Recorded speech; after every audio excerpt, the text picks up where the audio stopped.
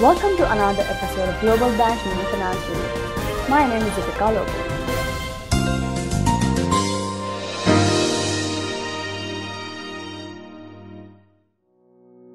Today we're going to talk about top 5 places to visit on a budget.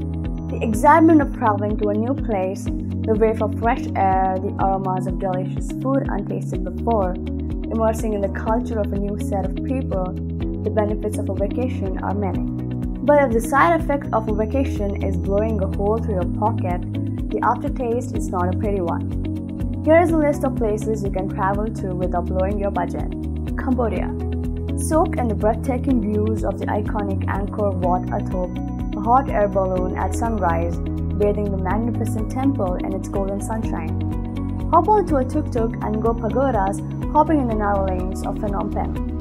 Those fond of cruises can pick from serene and breezy view of the Halong Bay or the bustling hub of activity in Mekong Delta. The experiences are many in Cambodia, be it the hypnotic Apsara dance, strolling on the idyllic beach resorts in Sihanoukville, or feasting on the Khmer cuisine. Average cost per day is $50 per person. Turkey. Turkey has something for everyone, be it thrill seekers or culture enthusiasts. Pump up your adrenaline by snowboarding or windsurfing in the Aegean Sea, or skiing or snowboarding in the Köroğlu Mountains. Roaming the streets of the old city in Turkey, revel in the glory of the most majestic Ottoman mosques, the Blue Mosque, and take in the aromas of the nearby spice market. The picturesque Cappadocia will blow you off your feet with the fairy chimneys reminding you of Mars. No space travel required here. Stay in one of the cave hotels in Quaint, and the scenery from the hot air balloon is unforgettable.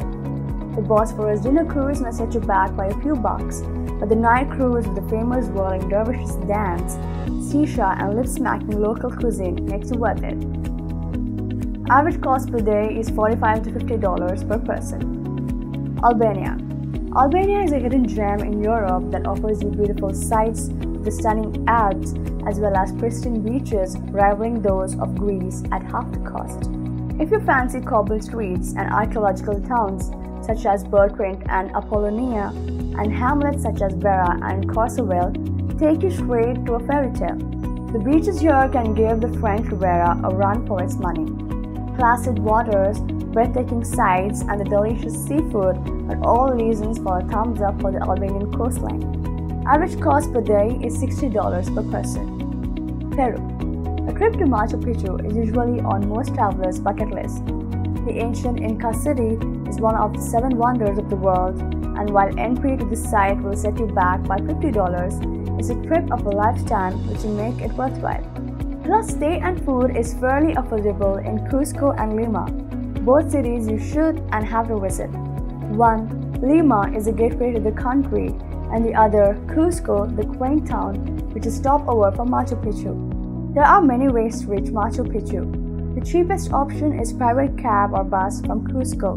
The train is more expensive, and the four day hike on the Inca Trail to Machu Picchu is perhaps the most expensive option. A trip to Lake Titicaca and the highest navigable lake in the world is a beautiful experience.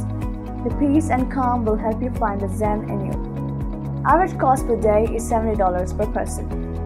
Nepal.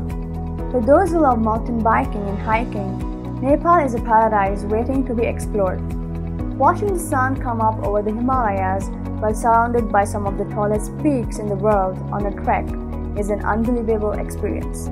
Those looking for nirvana can find a refuge in the temples and Buddhist monasteries. Kids will enjoy bathing elephants and looking for rhinos and tigers in the Royal Chitwan National Park. Average cost per day is $40 per person. So, which of these places do you want to visit? Let us know in the comment section below. Thanks for watching. Don't forget to subscribe, like, and comment. And one lucky winner will win a one-year free subscription of Global Banking and Finance Review magazine.